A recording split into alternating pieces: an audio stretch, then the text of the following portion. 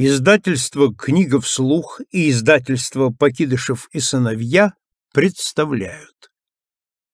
Михаил Абрамович Гершензон. На солнышке. Светлячки. Летом жили дети в теплых краях, на берегу моря. Не на самом берегу, а все-таки близко. Перед домом сад, а в саду ручеек по камням течет и песок у ручейка желтый, будто на солнце загорел. Вечером, когда спускалась темнота, песок был еще совсем-совсем горячий. Деревья в саду становились выше и начинали между собой разговаривать. «Шу-шу», — говорит одно, «шу-шу», — отвечает другое. Откуда ни возьмись, вылетают жучки-светлячки. С дерева на дерево перелетают, ясные, как фонарики. Жучка совсем не видно, только видно, как летит фонарик. Сенька, мышонок и Степа до поздней ночи бегают с пузырьками по саду, ловят светляков. Поймают и в пузырек. Поймают и в пузырек. «Смотрите!» — кричит Степа. «Какое у меня электричество!» Нюша на мальчиков за этих светляков сердится. Она мышонку сказала. «Ты все ловишь, ловишь, а потом светлячков не будет». «Почему не будет?» Очень просто почему. У тебя удерет один, полетит, другому расскажет. Тот полетит, другому расскажет. Вот и не станут они к нам в сад летать. А тебе жалко? Ну да, жалко. Не послушался Мишка, побежал ловить светляков. Пошла Нюша к Степе. Будет, говорит, тебе ловить светлячков. Ловишь, ловишь, а потом не будет. Почему вдруг не будет? Очень просто почему. Один полетит, другому расскажет, тот полетит, другому расскажет. Вот и не станут к нам летать. Отмахнулся от нее Степа, побежал Светляков ловить. Пошла Нюша к Сеньке. Сидит Сенька на террасе, сетку на Светляков мастерит.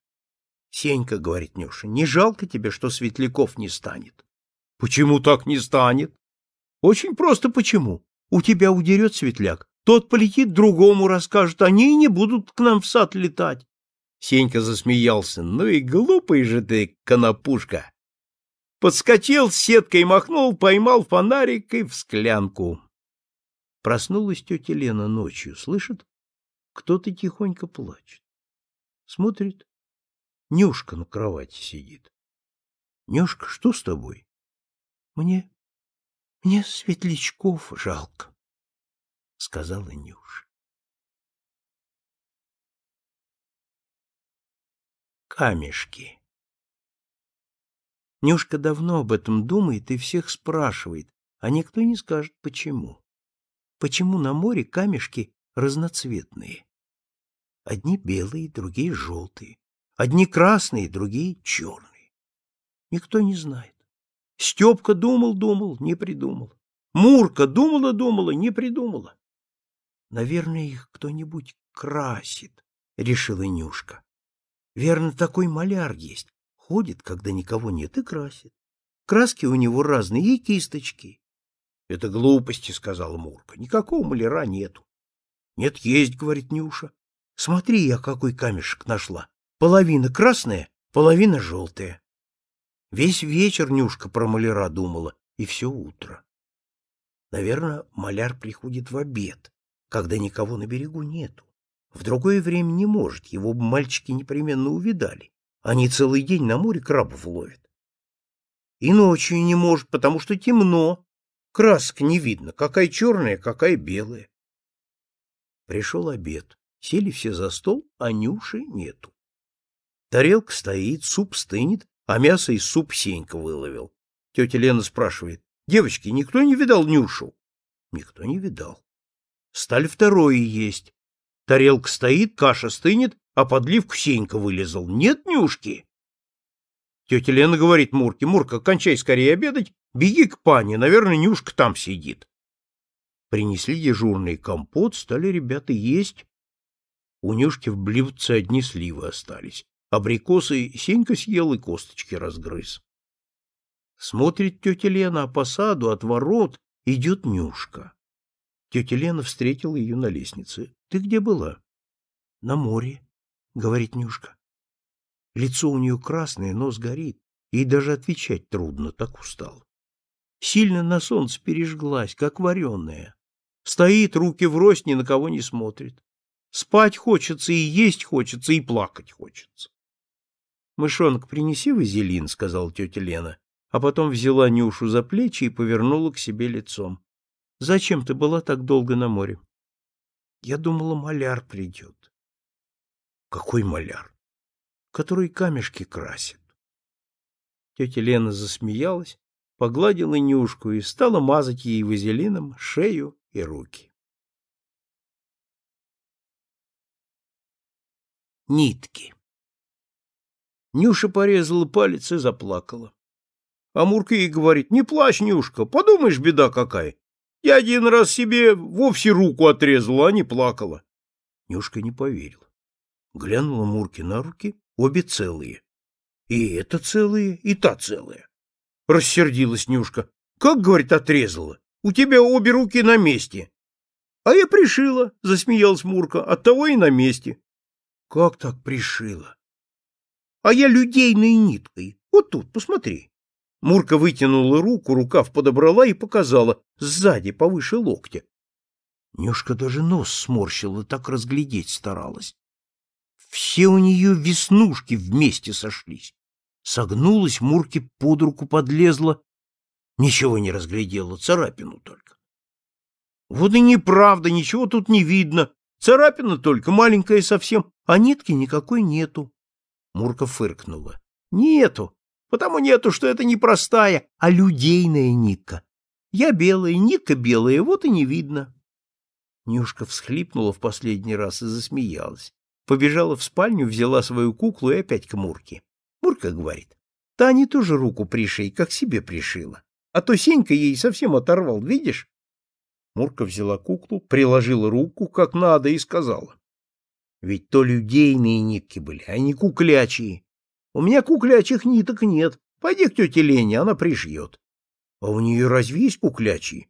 У тети Лены все есть. Побежала Нюшка к тете Лене. Тетя Лена, есть у тебя куклячие нитки? Конечно, есть, сказала тетя Лена. Взяла катушку ниток, иголку и наперсток. Стал пришивать кукле руку. Кукла белая, нитка белая. Вот и не видно. Что, хорошо так будет? Ну да, хорошо. Нюшка стоит, смотрит, а про палец и думать забыла. Веснушки у садовника живет садовникова жена, Паня, а у Пани есть маленький ребеночек, Левка. Он еще не умеет ходить, только ползает. Он совсем беленький. — Паня, а Паня, отчего я не беленькая? Отчего у меня веснушки? — спрашивает Нюшка. — Отойди от кроватки, разбудишь его, — говорит Паня. Она гладит пеленки, и на солнышке видно, как из утюга поднимается воздух, как сахар в горячей воде, если помешать ложечкой. Ну, Паня, отчего я не беленькая, пристает Нюшка. От того, что плохо моешься, смеется Паня. Ты покрепче лицо три, вот и будешь беленькая. И веснушки сойдут. Конечно, сойдут, говорит Паня и дует в утюг, чтобы лучше горели угли. Нюшке хочется, чтобы веснушки сошли. А то Сенька все пристает, говорит, конопушки продай. Вот и смою, думает Нюшка, хорошенько потру и смою. Ты куда, спрашивает паня. Я к ручейку веснушки мыть. Ну, как смоешь, поможешь мне просто не тянуть, смеется паня. Паня насыпает в утюг еще угля и ставит утюг на кирпич у водосточной трубы, чтобы уголь скорее разгорелся. Огонь так и рвется в трубу, даже слышно, как ветер через утюг гудит. Паня стоит, утюга дожидается, а Нюшка уже тут как тут. — Ну что, смылись? — спрашивает Нюшка. Паня смотрит на мокрую Нюшкину мордочку и удивляется. Сколько у одной девочки на лице помещается веснушек? Смылись, говорит Паня, только не все. А еще много осталось? Самая чуточка, смеется Паня. Где? Вот тут, на кнопке. Паня трогает пальцем Нюшкин нос. Нюшка старается посмотреть на кончик своего носа. Морщится, щурится, опустит голову, задерет. Плохо видно. Глаза слишком крепко на месте сидят. Что-то смешное, большое, немножко прозрачное, гора какая-то, а не нос. Подошла к окну, на цыпочки встала. В стекле видно, что нос. И весь в конопушках. — Я пойду сильнее потру, — сказала Нюшка. — Все-таки еще много осталось. И убежала опять к ручейку. А паня передвинула Левушкину кровать в тень и опять взялась за утюг. А солнышко опять стало потихоньку подбираться к Левушкиной кровати.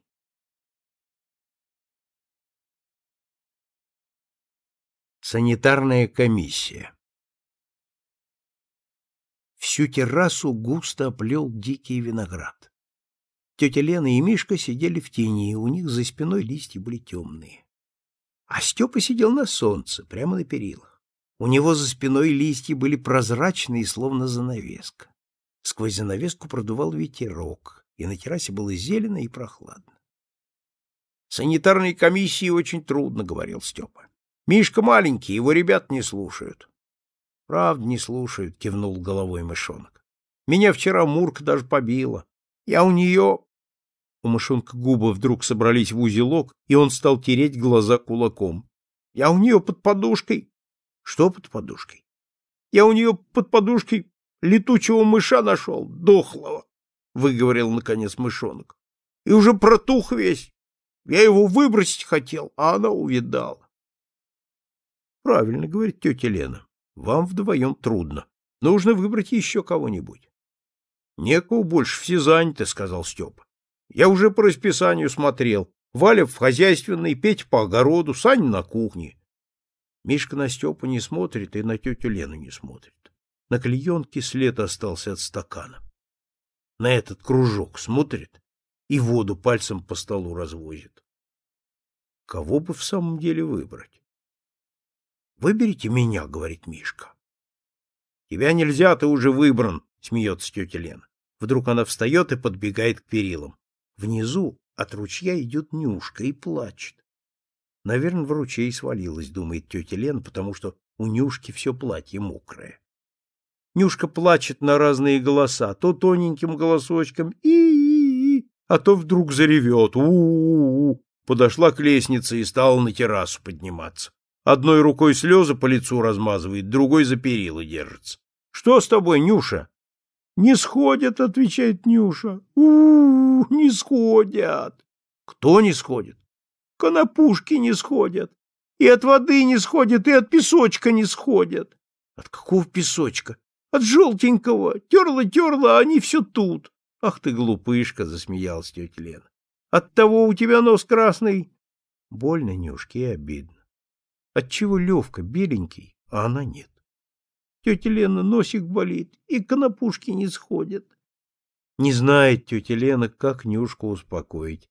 Обернулась она к Степе и Мишке и говорит, «Видите, чистех какая, песком нос терла. Давайте мы ее в комиссию выберем». «От нее пользы мало», — сказал Степа. «А ты, тетя Лена, будешь нам помогать?» «Конечно, буду». «Ну, тогда хорошо. Выберем», — согласился Степа. Мышонок тоже головой кивнул. Стала Нюшка членом санитарной комиссии. как Левка Нюшу обидел. Нюша с Муркой часто приходят к пане и возятся с Левкой. На руках у Левки ниточки, перетяжки. Нюш смешно. Все у него, как у настоящих людей. Руки, ноги, пупок, уши, нос. Ну, нос еще не настоящий, а глаза, те совсем настоящие, только очень синие. Мурка его спросит, как корова делает, а он пальчик выставит будто рога, и говорит «му». Мурка спросит, как собака делает, а он «Аф-аф, аф-аф, аф-аф», думает, что страшно. Мурка спросит, как кошка делает, а он тихонечко-тихонечко пискнет. Кс -кс. Мурка учит его говорить «мяу», а он не научается. Один раз у Нюшки был насморк, она все чихала. Мурка и говорит Левушке, «Скажи, как Нюшка делает?» Левка обрадовался, глаза у него заблестели, Чи, чи, говорит. Сидит, ноги раскинул и пищит. Чи, чи, чи. На другой день пришла Нюша малыша проведать. А он, как увидел ее, опять чи, чи, чи. Так у пани с рукой рвется. День прошел, два дня прошли, а Левушка всю Нюшку зовет Чхи. Как увидит сейчас Чхи, Чхи, Чхи, огорчилась Нюша, нос повесила. Говорит Мурке, что ж это он меня всегда будет Чхи звать? И вырастет тоже Чхи. Левушка услышал, как Нюш с Муркой про Чхи говорят. Обрадовался и ну пищать. Чхи, Чхи, Чхи. Нюшка в слезы, а Мурка смеется. Ты, говорит, Нюшка, глупая. Что на него обижаться? Он еще маленький.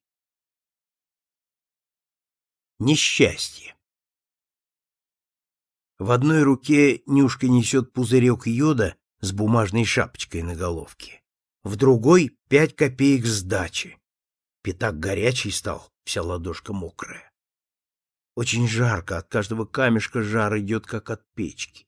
Машкара над дорогой вьется, прямо звон в ушах стоит. Еще жарче от этого звона. Остановилась Нюшка около палатки, где воду и квас продают. Серебряных шоколадок много лежит на полочке. Стоит у палатки дяденька, велосипедист. Велосипед пыльный-пыльный, а сам он голый в одних трусах и тоже пыльный. — Дайте мне сельтерской воды, — сказал дяденька. Оперся нечаянно на резиновый гудок, а гудок загудел. — Холодная у вас вода? — спросил велосипедист. — Как же, у нас все воды на льду, — ответил ему продавец. Нажал какой-то крантик, вода в стакан ударила. Шипит. Тушка близко подошла, пузырьки в стакане увидала. Стакан вдруг вспотел, шершавым стал даже, такой холодный. Дяденька воду маленькими глоточками пьет, Нюшка смотрит и тоже глотает. Только трудно глотать. Во рту пересохло. Пятак горячий-горячий. Переложила его Нюшка в другую руку и ладошку о платье вытерла. Дяденька сел на велосипед и уехал. Анюшка вдруг красная стала, протянула пятак продавцу, положил на краешек стойки. — Тебе чего? — спросил продавец, а сам руку к шоколадкам тянет. — Нет, мне не шоколадку, мне воды шипучей, — сказала Нюшка. Никогда еще Нюшка такой воды не пила. Даже немножко страшно. Шипит, жвизжит, в лицо брызжет. Откуда пузырьки берутся? Нет, нет пузырька, а вдруг побежит вверх. Стакан холодный, пальцы жжет. Сперва Нюшка медленно пила, чтобы надолго хватило. А потом не допила, больно горлу стало. Зато жары как будто и нет совсем. Идти легче, и пятак руку не жжет. Вот и дом на пригорке, видать, кто-то из мальчиков по крыше лазит, а не разобрать кто. Задумалась Нюшка, как про пятак сказать. Я тете Лене скажу, она сердиться не будет. Вошла в сад, а навстречу Степа с Сенькой. — Купил йод? — спрашивает Степа. — Покажи. Взял пузырек, красную шапочку снял, а под ней другая, беленькая.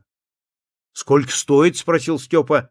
— Двадцать копеек, — говорит Нюша. — А где сдача? Нехорошо стало Нюше. Сенька стоит, в руки смотрит, и Степа тоже. Я... я... Не поворачивается язык во рту. Как Нюшка про воду не скажет, я... Я потеряла, сказала Нюша и сама испугалась. Как это вышло, что неправду сказал? Степка сердито так смотрит, а Сенька смеется. — Идем к тете Лене, — строго сказал Степа и взял Нюшу за руку. Идет Нюша, дороги не видит, в глазах слезы стоят. Сенька сбоку прыгает и дразнит. Вот так так, вот так так, потеряла пятак. Тетя Лена в изоляторе окно мыла, руки у нее в мыле. Она рукавом волос со дна откинула. Что у вас там? Степка Нюш к ней подвел и поставил, как деревянную. Она пятак потеряла, тетя Лена, сердито сказал Степа. Подняла Нюша глаза прямо на Сеньку. Вот так так, вот так так, смеется Сенька. А из спальни Мурка и мышонок выглядывают. Нюшка хочет на тетю Лену посмотреть, и не может, стыдно. — Не беда, со всяким случается, — сказал тетя Лена. — Перестань, Сенька. Верно, быстро бежала. — Я, я... Заплакала Нюшка и убежала в спальню. Шипучая вода Вечером тетя Лена читала книжку. Очень интересная была книжка про водолазов, как один дяденька под воду спускался на самое дно, и вдруг к нему рыбка в штаны попала. Кругом вода зеленая, как у кошки глаза. Всякие крабы ползают, осьминоги, а у каждого осьминога восемь ног. А глаза страшные, будто на прутиках торчат. Нюшка даже дышать боится. Кончила тетя Лена читать, все встали, а Нюшка не может. Что-то у нее с ногой сделалось. Шипит что-то в ноге, пузырьки идут, слышно, как холодная вода переливается. От пятки началось, а там больше. Выше вода поднимается, ледяная, шипучая. К коленке подошла и остановилась, только сильнее жужжит. Обхватила Нюша ногу, рукой чувствует, как под кожей пузырьки брызжут. Снизу вверх, снизу вверх. Что теперь будет?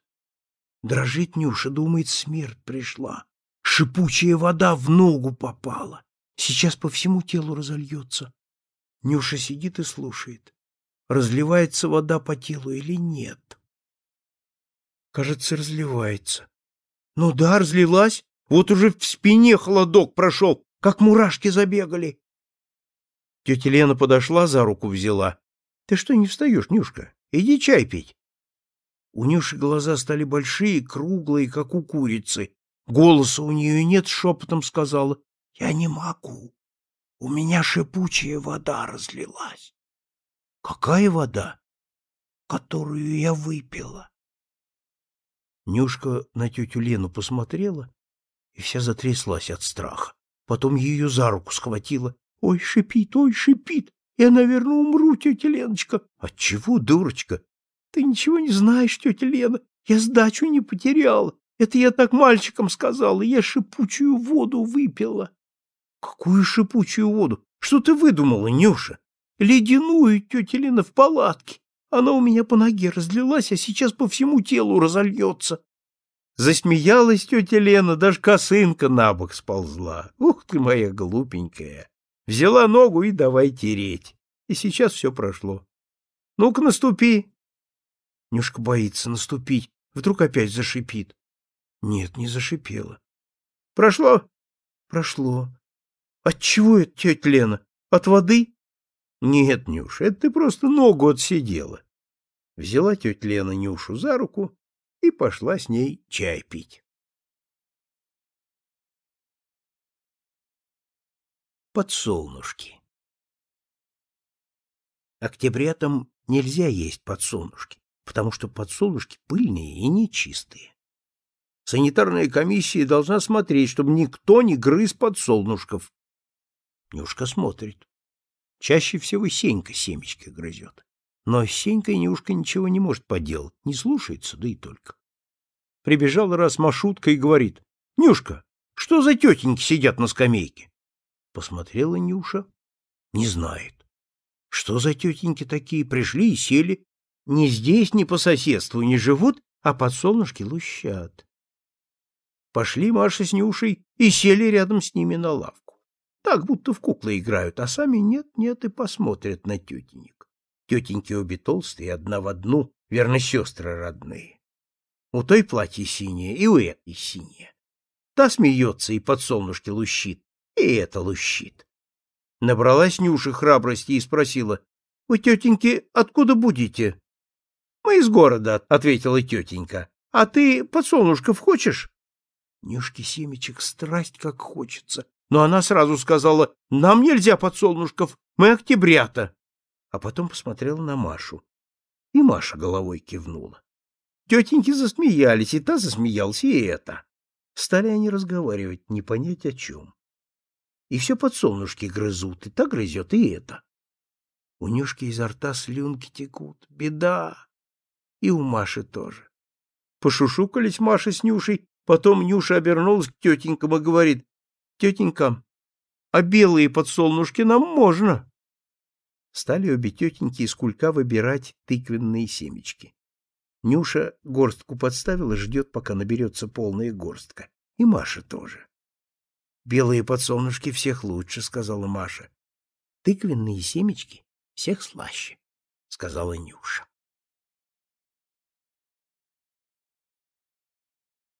Нюшкина победа.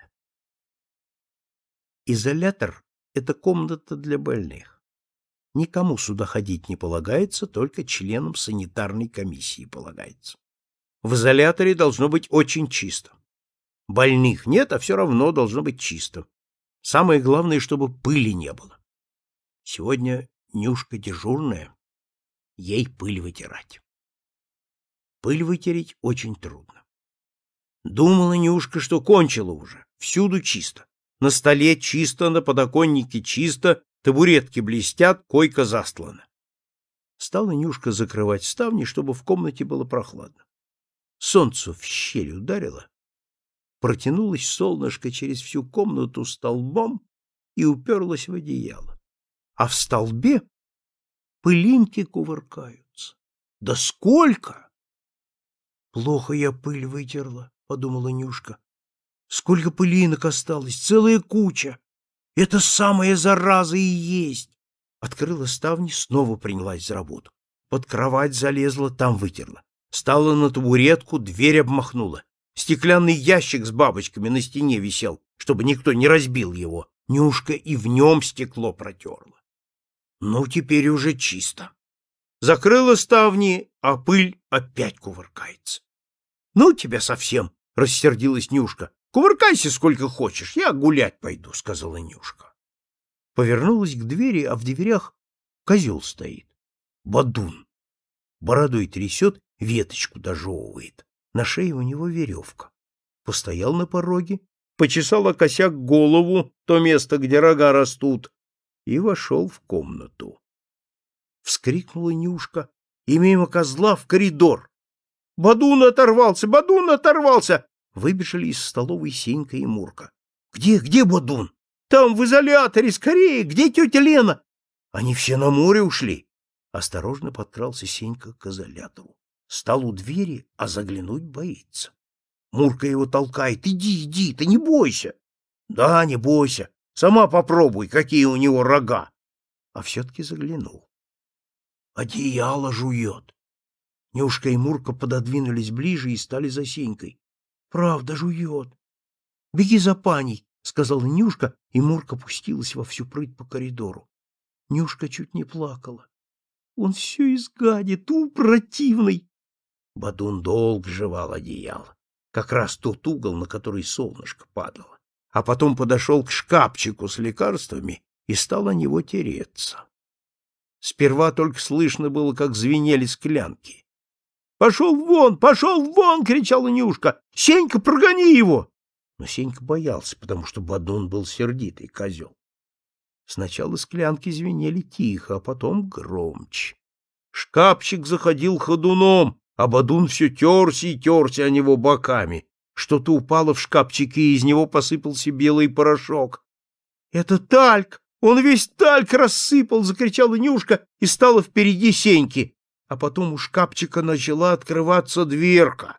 Она открывалась тихонько, понемножку, а Бадун стоял, нагнувши голову, и все терся об угол шкафчика, и вдруг дверка открылась совсем, и пузырек с касторкой покатился по полочке, Нюшка увидела, что пузырек сейчас упадет, и кинулась к Бадуну. Она схватила его за обрывок веревки. «Пошел вон, Бадун, убирайся!» Козел мотнул головой и шлепнул губами. Он не хотел уходить. Тогда Нюшка ударила его ногой. Бадун прыгнул в сторону и свалил табуретку. Табуретка упала, бух, а козел испугался, скок прямо в дверь. Сенька едва успел отскочить. Анюшка выпустила веревку и хлопнулась на пол. «Пошел вон, Бадун!» — кричал теперь Сенька, но Бадун скакал уже вниз по деревянной лестнице во двор. Тут и паня пришла с Муркой.